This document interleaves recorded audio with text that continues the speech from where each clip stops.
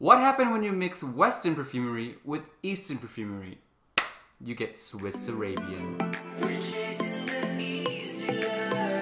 Hey guys, me. welcome back to another video and today we're going to be talking about Swiss Arabian perfumes. Now I've talked about this brand once before in the past and I've actually got a chance in the summertime, maybe around in June or July, to visit their headquarters here in Las Vegas. I sniffed so many of their fragrances, maybe 40 to 50 bottles that day. My nose was completely, completely shot. But before I left their office, I had a chance to pick out some of my favorite fragrances to take back with me to do a review on. So this video is sponsored by Swiss Arabian. They did give me these bottles for free. I just wanted to let you know that up front. But these are my favorite out of 40 or 50 of them that I smelled that day. Now first one we have is Shaghaf's Clear Blue. Now this is a very very designery smelling scent, but it's not designer as in it smells like stuff you could get at Sephora. It's designer in terms of, you know, the scent DNA. It's a fresh, citrus, sweet scent. So it reminds you a lot of designer fragrance, but the quality in this is different. It's a little bit more upscale, not niche quality, but lies somewhere in between. This one smells like, oh man, this one smells like if you take fragrances like Dior Sauvage Dylan Blue or even Blair Chanel and you just squeeze a bunch of fresh lemon into the fragrance. It smells, wow. Just really, really fresh lemon citrus with like a sweet undertone. Yeah, just like a fresh sweet lemonade. It's I can't stop smelling it. It smells really good. This fragrance would be great for the summertime or anywhere indoors really. It's super, super versatile. Fresh fragrance can generally be worn anytime. This is no exception. And this fragrance is different enough from other designer fragrances out there that people are wearing, so you will be able to stand out a little bit more than other people. So that's a big plus as well. The selling point for me with this fragrance is that it's versatile, it's mass appealing, that's what I love about it, but it's also a little bit different. If you're a fan of fresh fragrances, but you're tired of like the Dylan Blue, the Sauvage, and you want something a tad bit more different, I highly recommend you check out this one. Shaghaf Clear Blue. Next one we have the winter version of Shaghaf. This is Shaghaf Oud Abyad. I think I'm pronouncing that right. Hopefully I'm pronouncing that right. this one Gosh, this one is so complex. I remember first time I smelled this, I could not explain what it actually has, but all I can smell is that it's super, super woody.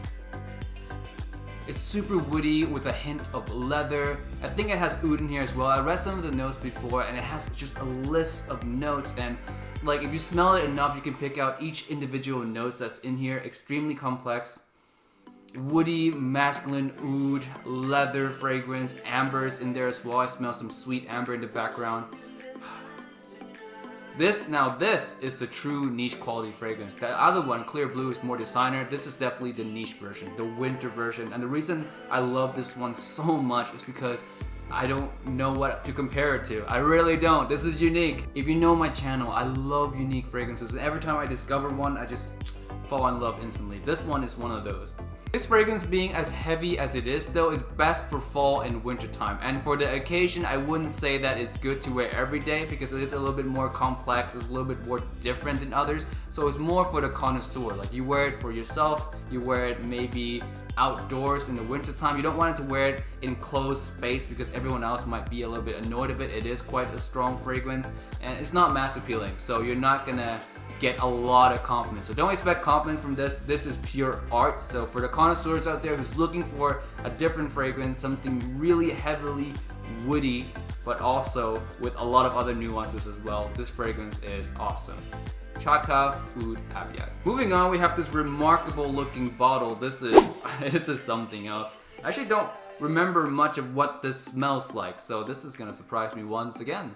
Man, I, I don't even know how to describe it citrusy, grassy, a little bit sweet, not like just a smidgen.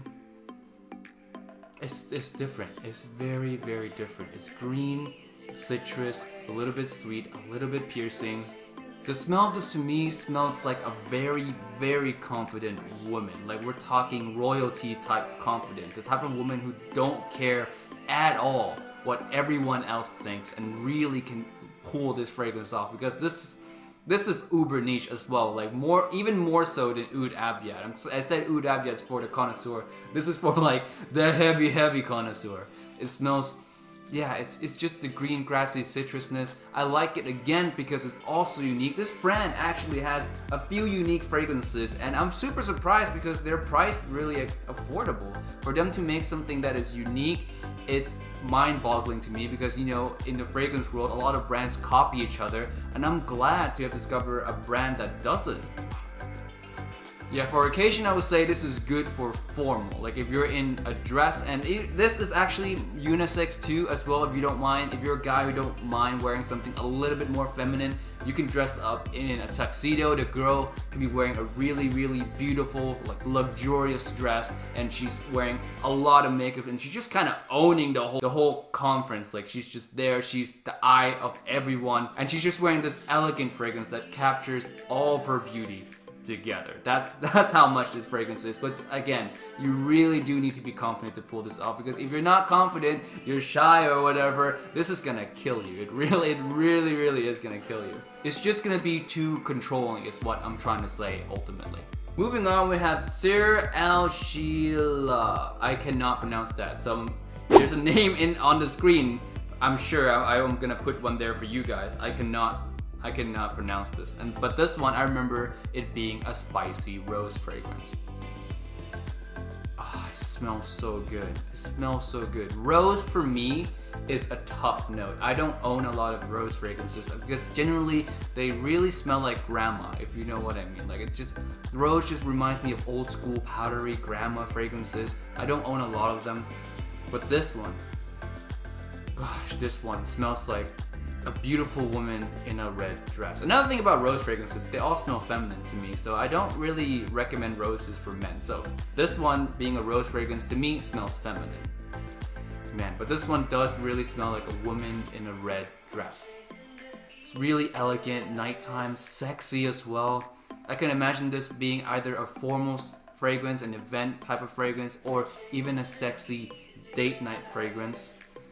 Gosh, that's so beautiful. Very, very beautiful. This one is actually one of my favorite for my girlfriend as well. She was she was the one who actually picked this one out. I didn't pick this one out. She just loved it so much. She pointed to me, I smelled, and I was like, okay, yeah, I agree.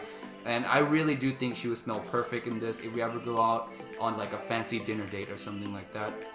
Man, if your girl, if your girlfriend, your wife, or anyone that you know love the note of rose and likes to go out on like fancy dates or fancy events or whatever, this is gonna be one of the best gifts you can buy them. Please, like check this one out. Well, test it first, of course, not blind buy it, of course. But definitely, this is a great gift. I highly, highly recommend it if you're into rose fragrance. This next one is my favorite out of the five. This is by far the most appealing young rose fragrance I've ever smelled in my life.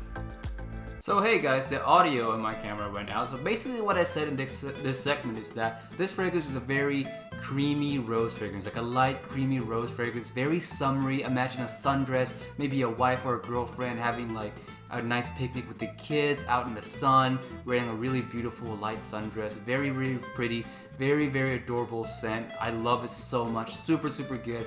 Yeah, that's basically what I said. So yeah, let's get back into it.